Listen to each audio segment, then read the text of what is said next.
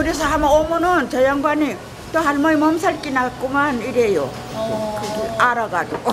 땀을 쫙 빼니까. 주인장에게도 어느덧 세월이 켜켜이 쌓였습니다. 많은 것이 변했어도 그 맛은 한결 같은데요. 오래된 게 저 솥단지. 저 솥단지. 네. 솥단지가 지금 8년 됐지. 이런 그릇은 얼마나 된 거예요? 이런 그릇은 한 1년? 2년?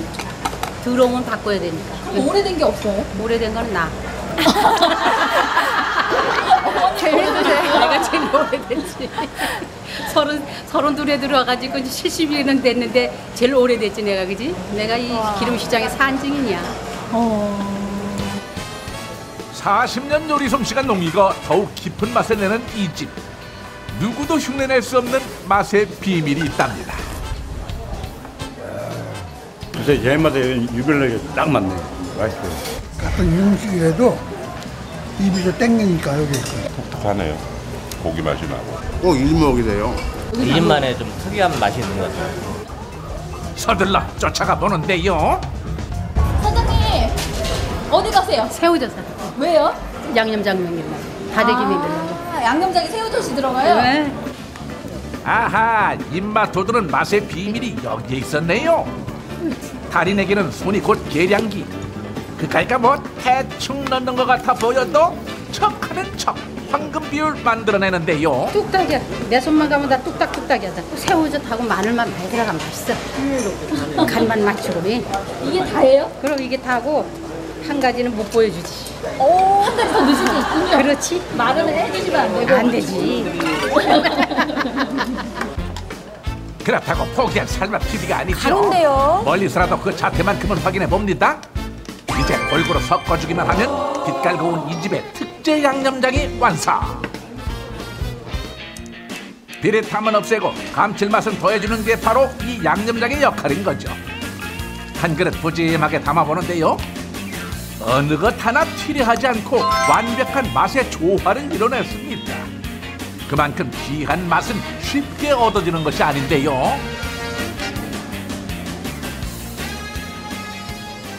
한, 사, 삼, 사, 한 40년 이상 됐을 거예요. 어머니 오래, 오래 하셨어요. 예. 그러다 지금은 아드님이 하고 계시죠. 물려받으신 거네요. 예. 양념도 그렇고 국물도 그렇고 비법이 있겠죠. 딴 집과 좀 달리 예. 맛있어요. 어둠이 채 가시지도 않은 이른 새벽 정적을 뚫고 오토바이 한 대가 도착했습니다 바지런하게 손을 놀리는 이분 사장님 안녕하세요. 네, 안녕하세요. 아니 근데 이렇게 새벽에 나오셔야 돼요? 육수 내려고 나와야죠. 매일 이렇게 나오세요? 네. 선홍빛 고운 자태 뽐내며 돼지 사골이 등장했습니다 사골이 너무 좋아 보이지 않냐고. 어. 좋잖아요. 이건 국산은 아니죠. 백마디 말보다 직접 보는 것이 가장 확실한 법 어허라 국내산 맞네 맞아 사골은 국산을 안 칠 수가 없어요. 왜요? 아니 뭐 다 먹는 건데 이거 뭐뭘 믿고 저기 뭐, 뭐 중국권이 뭐니 그런 걸 어떻게 써요? 아우 아껴 얼마나 아껴요. 좋은 거 먹어야지. 뜨끈한 불길 위에서 목욕하는 요 녀석 PT 가시자마자 찬물 샤워에 돌입하는데요 하나하나 구석구석 깨끗이 닦아내야 깔끔한 맛을 낸답니다 솔직하게 저기 왔다고 씻으시는 거죠?